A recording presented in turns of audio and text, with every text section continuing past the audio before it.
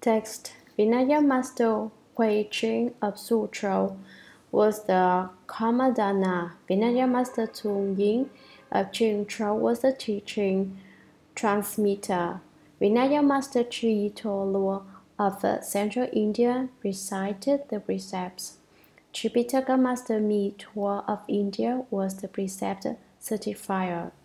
Commentary Ting Fu Pao writes that there should be four Karmadanas, yet the sutra mentions only one. He says that the one mentioned was the most famous of the four because he didn't understand the precepts. His commentary is confused. There was only one Karmadana. Karmadana is a Sanskrit word which means to arrange events or to explain rules. The Karmadana makes certain that everything is done in accord with Dharma in accord with the rules established by Shakyamuni Buddha. Anything not in accord with the Buddha's rules is unacceptable to the Karmadana. When conferring, conferring the precepts, the precept transmitter asks the Karmadana, May the precepts be transmitted to this person? The question is asked three times, and each time the Karmadana must reply, Yes, yes. On the precept platform, the Karmadana and the teaching transmitter sit immediately to the left and right of the precept transmitter. The remaining seven certifiers sit on either side. That is the arrangement of the three masters and seven certifiers. They represent the Buddhas of the ten directions in speaking Dharma and transmitting precepts. Therefore, when leaving home, receiving precepts is especially important. The teaching transmitter transmits the sutras. True to Toluo, transliterated from the Sanskrit, means flower of merit and virtue. Dharma Master understand, understood the three divisions of the Tripitaka, Sutras, Sastras, and Vinaya, and so he is called the Tripitaka Master. He is closely associated with the Chinese Vinaya because he translated the Dhammagupta Vinaya from the Sanskrit into Chinese. All the precept spirits protected this intelligent master, and there are many miraculous, miraculous events connected with his life. Mitua means flourishing. His full name was Tamo Mitua, flourishing Dharma. Text Construction of the precept platform had begun in the former Song dynasty by Tripitaka master Gunabhadra. He erected a stone tablet which said, In the future, a bodhisattva in the flesh will receive the precepts in this very place. Commentary The former Song was the dynasty that preceded the Sui dynasty not the well-known Song dynasty of Song. Gunabhadra means a worthy of merit and virtue. This master established a precept platform at what is now called Quang Xiao Monastery. His engraving foretold the coming of a bodhisattva in the flesh, not a bodhisattva who had gone to nirvana, but a living bodhisattva. Text Further in the first year of the Tian reign of the Liang dynasty, AD 502, Tripitaka master Nanabai Jnanabhaisajya came by sea from West India carrying a Bodhi tree branch, which he planted beside the platform. He too made a prophecy, saying, after 170 years, a, a bodhisattva in the flesh will proclaim the supreme vehicle beneath this tree, taking measureless multitudes across. He will be a true transmitter of the Buddha's mind seal, a Dharma host. Commentary Tripitaka Master Na Na Bhashaya, wisdom medicine, predicted that a living bodhisattva would speak the supreme vehicle Dharma from beneath that Bodhi tree, teaching the Dharma of a direct pointing to the mind to see the nature and realize Buddhahood. As a true transmitter of the Buddha's mind seal, this Bodhisattva would use the mind to seal the mind. Shakyamuni Buddha held a flower in his fingers and smi- uh, smiling subtly, transmitted the mind seal of all the Buddhas to the first patriarch Mahakashyapa. Transmitters of the mind seal are patriarchs. A Dharma host is one who lectures sutras and explains the Dharma. Jnanabhaisajya brought a Bodhi tree branch from India to China, not a whole tree, just a cutting. Bodhi trees will grow almost anywhere. There are many such trees in China today. The Venerable Master Jnanabhaisajya's flesh body has not decayed. It is preserved for veneration at Yuhua Monastery about five miles from Nanhua Monastery. The caretaker there, who has left home, does not feed visitors, so if you wish to visit, you must bring your own food. When I was living at Nanhua Temple, I went to see the master Jnanabhaisajya's body and found it in excellent condition. Text In keeping with the former predictions, the master arrived to have his hair cut and to receive the precepts. He, he instructed the four assemblies on the essentials of the exclusive Dharma transmission. Commentary The sixth patriarch had his head shaved and received the complete precepts. He then explained the Dharma for the four assemblies, teaching them the exclusive Dharma transmission. That is the Dharma which has been passed down through every generation since the time of Shakyamuni Buddha. Text In the spring of the following year, the master took leave of the assembly and returned to Paolin. Yin Tsung, together with more than a thousand black robed monks and white robed lay folk, accompanied him directly to Caoxi. Commentary The sixth patriarch left and returned to Caoxi.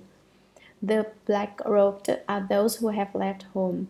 At that time, lay people wore white robes.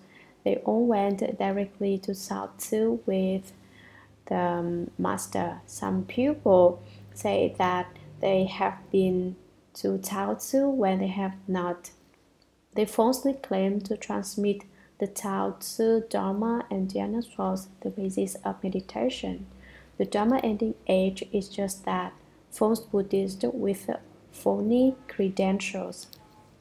Text At that time, Vinaya Master Tung Ying of Qingzhou and several hundred students followed the master and came to dwell there. When the master arrived at Paolin in Caoxi, he saw that the whole the buildings were bleak and small, insufficient to contain the multitude. Wishing to enlarge them, he paid a visit to the villager Chen Yaxian and said, This old monk comes to the almsgiver seeking a sitting cloth worth of ground. Of ground, is that possible? Commentary: As soon as he realized that the great master was the sixth patriarch, a transmitter of the Buddha's seal, Vinaya Master Tung Ying led his disciples to Tao Tzu to study the Dharma under the Great Master. When the sixth patriarch arrived at Caoxi, he saw that the buildings were too small. Wishing to enlarge them, he paid a visit to a wealthy landowner, Chen Yaxian. In this passage, the sixth patriarch refers to himself as the old monk. When he was 24, he went to see Huang Mei. Then he hid for 16 years. At 40 years of age, he called himself an old monk, and so am entitled to do the same. The master told Chen Yaxian that if he gave alms, he could transcend birth and death. Text Xian asked, How big is the high master's sitting cloth? The master took out his sitting cloth and showed it to Yaxian, who thereupon agreed. But when the patriarch unfolded and spread out his sitting cloth, it completely covered the four borders of Caoxi. For the four heavenly kings appeared and sat as protectors in each of the four directions. Commentary The great master handed his sitting cloth to Chen Yaxian, who said, If you only want that large uh, a piece of land, fine. But when he spread it out, the sitting cloth covered not only the area around Nanhua Monastery, but everything within ten miles of where they stood.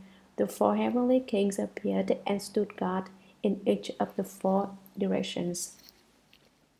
Text It is due to this occurrence that the mountain range bordering the monastery is called the range of the heavenly kings. Xian said, I know that the High Master's Dharma power is vast and great. However, the burial ground of my great great grandfather lies on this land. In the future, if you build a stupa, I hope that this area will remain undisturbed. As for the rest, I wish to give it all to be forever a treasured, treasured place. This ground has the flowing current of a living dragon and a white elephant level only heaven, do not level earth. Later, the monastery was constructed according to his words. The master roamed within these boundaries, and at places where the scenes of nature were fine, he stopped to rest. Commentary The area belongs to a living dragon. It has a flowing current, and the mountain is like an elephant. Here one may build a treasured place, a Bodhimanda. Level only heaven, do not level earth. That is, where the land is high, the buildings may be made lower, and where the land is low, the building may be made taller. But do not level the earth, for if you do not, uh, if you do, you will ruin the fine conditions of wind and water, and the land will lose its efficacious energies. The sixth patriarch opened round about the countryside and stopped to rest where the landscapes were especially beautiful.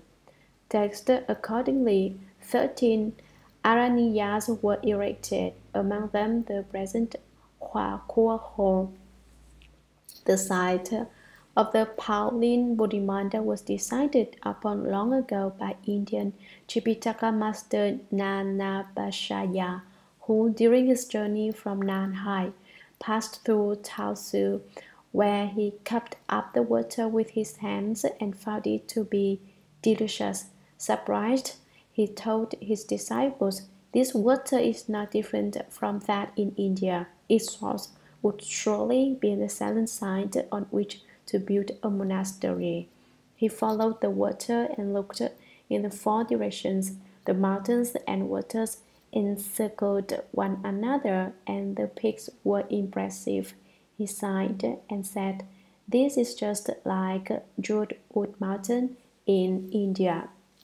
Commentary Why is the area around Nanhua Monastery called Paolin? Paolin means jeweled wood. When the venerable Jnanabhaisajya drank the water at Caoxi, its taste was identical to that of the water in a certain place in India. He knew that the source of the spring was indeed an efficacious, efficacious spot on which to build a temple. At dusk, he reached the site of Nanhua Monastery. Gazing up at the mountain, he said, This mountain looks just like Jeweled Wood Mountain in India. We shall call this Jeweled Wood Bodhimanda. Master Jnanabhaisajya was not alone. Many of his disciples were traveling with him. He said to them, The source of this stream is certainly a good site for building a temple. Monastic buildings are called Aranyas, a Sanskrit word meaning silent place. They are pure, quiet places for cultivation. The clear blue waters reflected the bright, shining mountain peaks the area was particularly beautiful. Text, he said to the villagers of Home. A pure dwelling may be built here. After 170 years, the unsurpassed Dharma jewel will teach here. Those who attend the way in this place will be as numerous as the trees of this forest. It should therefore be called Pao Lin.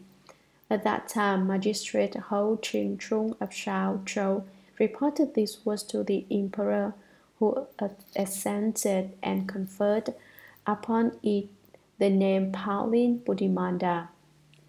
The construction of the pure homes began in the third year of the Tianjian reign of the Liang dynasty, AD 504. Commentary The village was called Hou, descendants of Cao, because its inhabitants were descendants of General Cao Cao of the period of the Three Kingdoms. 170 years after Master Jnanabhaisajya made this prediction, the sixth patriarch received the precepts and taught living beings at Paolin. The unsurpassed Dharma jewel refers to the sixth patriarch. Sangha and lay people who were to attain enlightenment this place would be as numerous as the trees in a forest. It was therefore to be called Jeweled Wood. Text in front of the home was a pond in which a dragon often swam, bumping and scraping the trees of the forest. One day he appeared larger than ever, covering the area with a thick mist. The disciples were afraid. The patriarch scolded him, saying, Ha, you can only make yourself appear in a large body, not in a small one. If you were a divine dragon, you could transform the great into the small and the small into the great. Commentary The dragon was so big that you could only see the dragon. You couldn't see the pond at all. He danced on top of the water, splashing it everywhere in waves which were 10 feet, 20 feet, and even 30 feet high. He was showing off. Incredible, said the disciples. This dragon certainly intends to harm us. The sixth patriarch shouted at the dragon. He said, If you really had spiritual powers, you could transform nothing into something and something into nothing. You could transform yourself and not be transformed, just as you wished, manifesting the great within the small and the small within the great. Taste the dragon suddenly disappeared but returned an instant later in a small body skipping about on the surface of the pond. The master held out his bow and teased him, saying, You don't dare climb into the, old bishop's bow. At that moment, the dragon swam in front of the master, who scooped him out of the water with his bow. The dragon couldn't move. Holding the bow, the master returned to the hall and explained the Dharma to the dragon. Commentary when the dragon heard the sixth patriarch dared him, dared him to manifest a small body, he disappeared. Strange, think about it. Suddenly he wasn't there. Then in the time it takes to feel a hunger pang, a little dragon appeared, dancing on top of the water. The great master said, You have a little body now, but you wouldn't dare get into my boat, would you? You wouldn't dare, dragon, I dare you to get into my bowl, into my bowl. The dragon flew across the water and swam up before the patriarch. The patriarch didn't wait for the dragon to jump into his bowl, but reached right down and scooped him out of the water. In Manchuria, where I am from, there is a saying before there were people in Manchuria, you could scoop up the fish with a bucket and chickens fell into the cooking pot. As for rabbits, you could just step outside, swing a stick, and knock over a few. This is what is meant by scooped. Catching the dragon was as easy as scooping for fish in Manchuria.